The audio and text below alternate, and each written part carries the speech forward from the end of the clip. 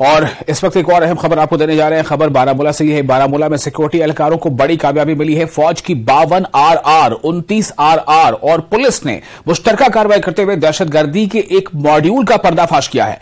बारामूला के करेरी से लश्कर के तीन मावरीन को गिरफ़्तार किया गया है। इनके कब्जे से गोला बारूद भी बरामद किया गया है।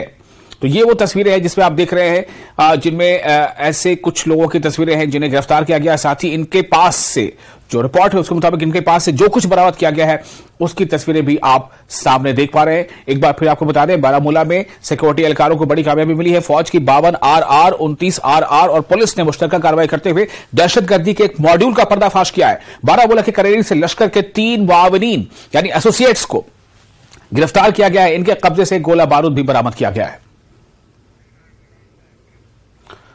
जम्मू कश्मीर बीजेपी के सदर रविंद्र रैना ने कहा है कि यह हिंदुस्तान के लोगों के लिए फख्र की बात है कि हिंदुस्तान ने जी ट्वेंटी समिट की मेजबानी की।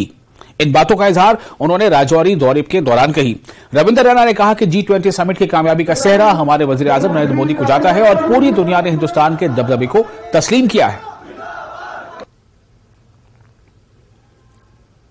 अपने अपने मुल्कों की आवाम की बेहतरी के लिए हम मिलजुल कर काम कर सकते हैं।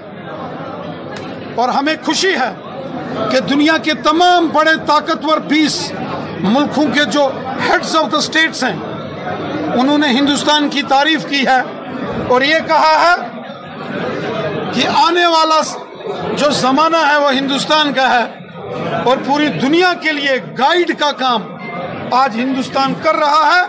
ये हमारे प्राइम मिनिस्टर मोदी साहब और हमारे देश की आवाम की मेहनत है। जिसके चलते आज पूरी दुनिया में हिंदुस्तान का डंका बज रहा है।